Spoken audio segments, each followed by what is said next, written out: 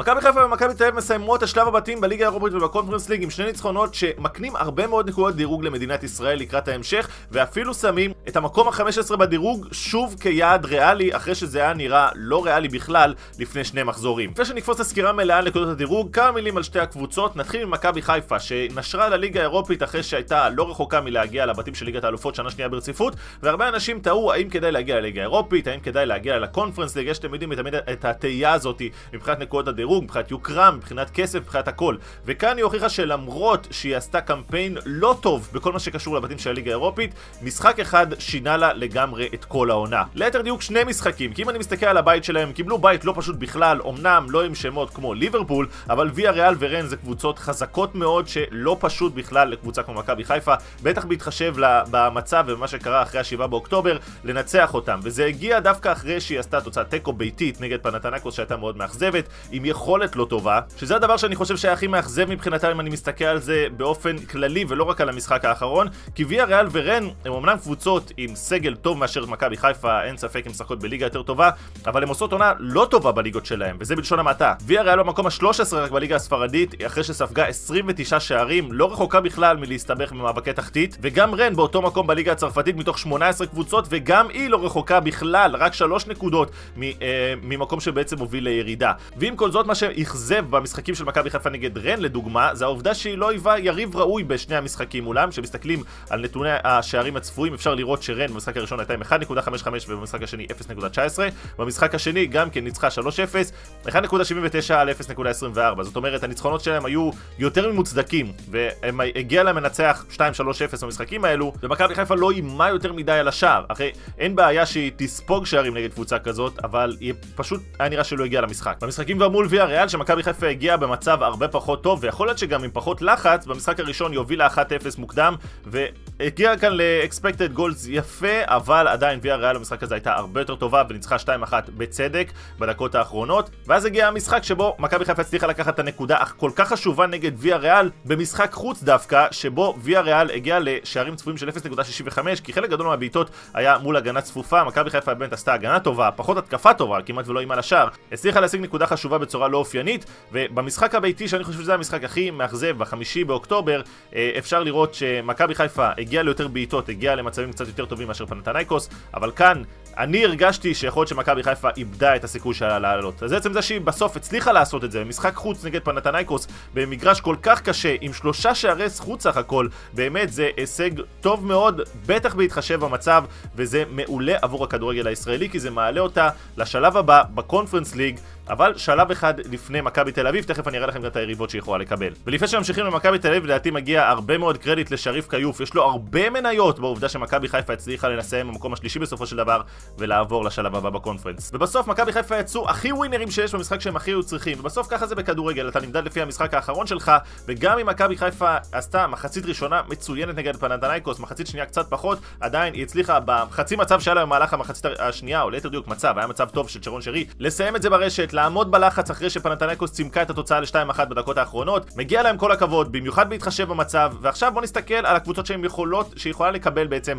בשלב הבא. קודם כל, צריך להבין שכל הקבוצות שסיימו בקונפרנס ליג, לפני שאנחנו עוברים במעבר חד למכבי תל אביב, כל הקבוצות שסיימו במקום הראשון בקונפרנס ליג עלו כבר לשמינית הגמר. כל אלה שסיימו במקום השני יקבלו את הקבוצות שנושרות מהליגה האירופית. זאת אומרת, סלובן ברטיסלבה, גנט שסיימה במקום השני בבית של מכבי תל אביב, דינמו זגרב, בודו גלימט, לגיה ורשה, פרנצווארוש, פרנקפורט, ולודוגורץ, זה הקבוצות שמכבי חיפה יכולה לקבל בהגרלה ביום שני שאנחנו נשדר כאן בלייב, אה, שלדעתי כמובן יש כאן קבוצות שהן טובות יותר, טובות פחות, אבל ראינו לדוגמה את אה, סדובן ברטיסלבה, כמה היא טובה ואיך מכבי חיפה, איך המצ'אפ של מכבי חיפה מולה, חושב שזה יהיה אחלה הגרלה עבור מכבי חיפה. ועכשיו נעבור למכבי תל אביב, שסיימה במקום הראשון בבית ב' בקונפרנס ליג, שזה הישג מצוין, שגם מקנה לה עוד נקודת דירוג אקסטרה, ליתר דיוק שתי נקודות דירוג, כי היא כבר עלתה, והמקום השני, ש... מי שמסיים במקום השני בבתים של הקונפרנס ליג מקבלת נקודת דירוג נוספת על הסיום במקום השני, מי שמסיים במקום הראשון מקבלת שתי נקודות דירוג. אז מכבי תל אביב מקבלת שתי נקודות דירוג ועולה ישירות לשמינית הגמר של הקונפרנס ליג, וזה הישג פנטסטי לדעתי. עכשיו יהיו הרבה שינסו להקטין את זה ולהגיד, אה, מי אלה זוריה ומי אלה בריידבליק, ובריידבליק באמת זאת קבוצה חלשה שמכבי תל אביב הייתה צריכה לנצח פעמיים. לגבי זה, אני לא חושב שיש עוררין, היא סיימה עם 0 נקודות בצדק את הבית הזה. אבל שוב אני חוזר ואומר, בהתחשב במצב, בהתחשב במה שקורה במדינה, לסיים במקום הראשון ולנצח את גנט במשחק האחרון בתצוגה נהדרת לדעתי של מכבי תל אביב, 3-1, שזה ניצ... וניצחון סופר מוצדק. באמת, הצגה של מכבי תל אביב ורן זהבי ממשיך להראות כמה הוא... אין מילים כבר לתאר את, ה... את השחקן הזה, גבי קניקובסקי עם uh, תצוגה מצוינת, ושלוש אחת שהוא מוצדק לחלוטין, אבל בעוד משחק מכבי תל אביב סופגת, אני חושב שהיא ספגה בכל המשחקים במהלך הבית הזה, וההגנה שלה בהחלט טעונת שיפור, אבל עצם זה שהיא מצליחה לנצח חמישה משחקים, זה דבר שאי אפשר לקחת אותו כמובן מאליו. רק לפני כמה שניות דיברתי על מכבי חיפה, שמתמודד נגד קבוצות מהלליגה, או מהליגה הצרפתית, מה... מהתחתית שמה, ושואפת לקחת מהם נקודות ומצליחה גם לקחת נקודות נגד קבוצה כמו ויה ריאל. אז קבוצות כמו זוריה, מבחינתם, להפסיד שני משחקים למכבי תל אביב, זה לא דבר שהוא מובן מאליו, בטח שמכבי תל אביב גם לא שיחקה את המשחק הביתי שלה בבית. וזוריה גם, להזכירכם, הצליחה להוציא תיקו מגנט במחזור הראשון. שאגב, אחד הדברים המעניינים במכבי תל אביב זה שדווקא במשחקים נגד גנט, בשני המשחקים, הייתה פייבוריטית ברורה מבחינת התצוגה על המגרש. זאת אומרת, במשחק בבלגיה, הבלגים היו הרבה יותר טובים, במשחק השני, מכבי תל אביב היו הרבה יותר טובים, אבל כשאני מסתכל על אה, משחקים נוספים, לדוגמה נגד בריידבליק בחוץ, שזה היה משחק מאוד מאוד קשה לנצח אותו,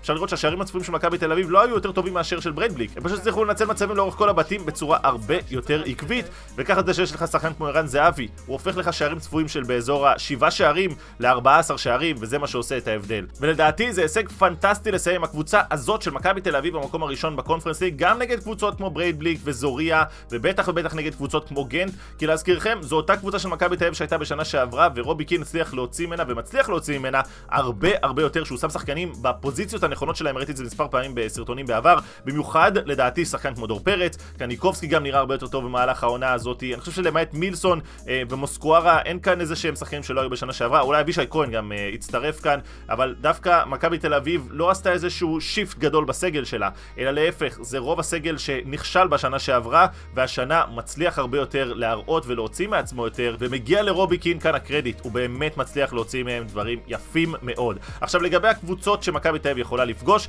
כמובן שאנחנו עוד לא יודעים בדיוק ישירות את מי מכבי תל אביב יכולה לפגוש, היא יכולה לפגוש את כל אחת מהקבוצות שסיימו במקום השני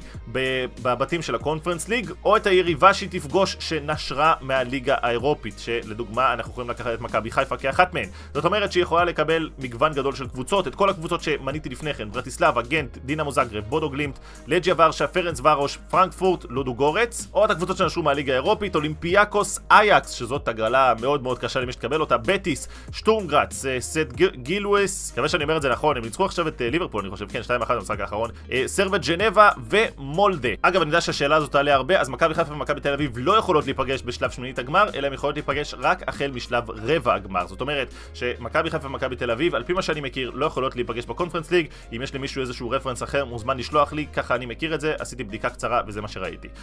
אז ישראל מקבלת בעצם בזכות הניצחונות האחרונים של מכבי תל אביב, מכבי חיפה והתוצאת תיקו של חיפה נגד ויה ריאל, פלוס העובדה שמכבי תל אביב סיימה במקום הראשון בבתים של הקונפרנס ליג, מה שמקנה לה, כמו שאמרתי, עוד שתי נקודות, קיבלה הרבה מאוד נקודות דירוג השנה, מה שהופך את השנה הזאת לשנה רשמית הכי מוצלחת בחמש השנים האחרונות, עם שבע ורבע נקודות שישראל מקבלת, ובעצם נצמדת לנורבגיה, שגם לה יש שתי נציגות שעלו לשלב הבא בקונפרנס ליג. ובעצם ישראל ונורבגיה צמודות מאוד בדירוג שלהם, כשמכבי חיפה ומכבי תל אביב לא מקבלות נקודות דירוג על כך שהם העפילו לשלב הזה מעבר למה שאמרתי כרגע, וגם אם מכבי חיפה תעפיל בשלב הבא ותעבור לשלב שמינית הגמר, היא לא תקבל על זה ניקוד. אבל אם מכבי תל אביב או מכבי חיפה או שתיהן, הלוואי, יוכלו לעלות משלב ה-16, זאת אומרת משלב שמינית הגמר, לשלב חצי הגמר, כל שלב בנוסף למשחקים הפנימיים של ניצחון, הפסד, ניצחון ותוצאות תיקו, מקבלים עוד נקודה אקסטרה על כל שלב שהיא תעבור בקונפרנס ליג. אז נורבגיה נמצאת כאן עם מולדה ובודו גלימט, קבוצות שהישראליות יכולות לפגוש גם uh, באופן ישיר,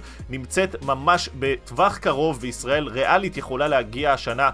לטופ 15, אחרי שהיה נראה שהיא לא יכולה להגיע, הרבה בזכות באמת המהפך שמכבי חיפה עשתה בשני המשחקים האחרונים, המהפך הדי לא צפוי, צריך להגיד את האמת, שהצליח לשים אותה כרגע בפוזיציה שהיא יכולה להשיג עוד נקודות דירוג גם מול הקבוצות שהיא תפגוש בקונפרנס ליג, ויותר מזה, הניצחון של מכבי חיפה גם הדיח את פנתנייקוס של יוון שנמצאת ממש מתחתנו. אז ככה שהנקודות דירוג שלנו מאוד מאוד קרובות, אנחנו יכולים לעבור את נורבגיה השנה, הכל תלוי במשחקים של מכבי חיפה ומכבי תל אביב במהלך אה, פברואר, מרץ בשלב הבא. דנמרק ואוסטריה שנמצאות מעלינו, דנמרק נמצאת רק עם קופנהגן, אבל קופנהגן אתם יודעים, נמצאת כרגע בשמינית גמר ליגת האלופות, אה, שרק על זה היא קיבלה עוד 5 נקודות דירוג, והיא כרגע העלתה את דנמרק עד למקום ה-14. עדיין אנחנו תאורטית יכולים לעבור אותם, אבל ממש לא פשוט. אוסטריה נמצאת רק עם שטורמגרץ, גם אותם תאורטית אנחנו יכולים לעבור, אבל אנחנו, עדיף לנו בוא נגיד להתמקד כרגע בכל מה שקשור אה, במצ'אפ שלנו נגד נורבגיה, ולנסות להשיג כמה שיותר נקודות דירוג, כי גם אם ישראל לא תעלה לטופ 15 כבר השנה, היא כבר שמה את עצמה בפוזיציה להצליח במהלך השנים הבאות עם עקביות מצוינת. 4 שנים